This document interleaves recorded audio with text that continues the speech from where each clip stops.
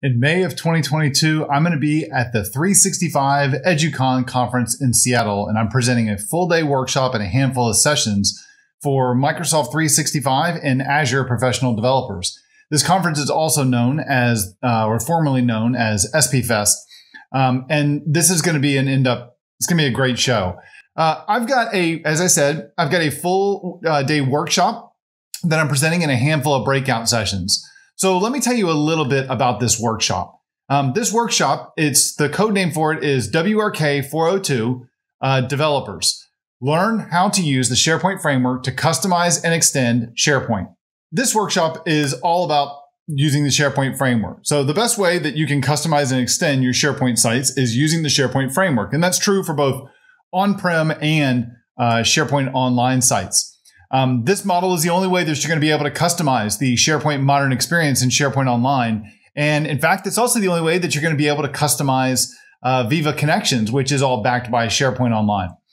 So if you're an experienced solution based SharePoint developer or you're brand new to the SharePoint framework or SharePoint platform, um, this workshop is perfect for you. You're going to learn how to get started installing everything that you need on your workstation for developing with the SharePoint framework before we dive into building solutions. And by the end of the day, you're going to know how to build web parts, single page apps, as well as various types of extensions, including application customizers, field customizers, and list view command sets.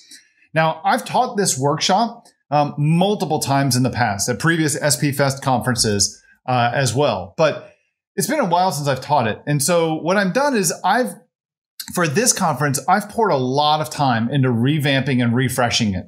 Um, I've taken a lot of the content or some of the content from my uh, my long 30, 40 hour uh, on demand course uh, on mastering the SharePoint framework um, to really go through and to revamp this and make it a much better resource than it was before or a much better experience than it was before. If you're just getting started with the SharePoint framework, if you have little or moderate experience with the SharePoint framework, this workshop is also for you.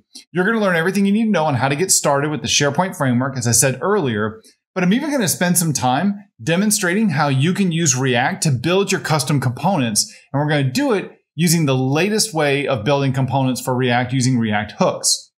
Plus, I'm also going to give attendees an exclusive deep discount opportunity uh, to register and sign up for my Mastering the SharePoint Framework on demand course that's got 35 hours of um, instruction and, hand, and um, uh, instructor led de- uh, de- demos um, that you can have access to. So uh, if you're at the workshop, I mean, it's you're gonna we can spend an entire day together. Um, but I go in a lot more depth for a lot more stuff if you want to learn a whole lot more.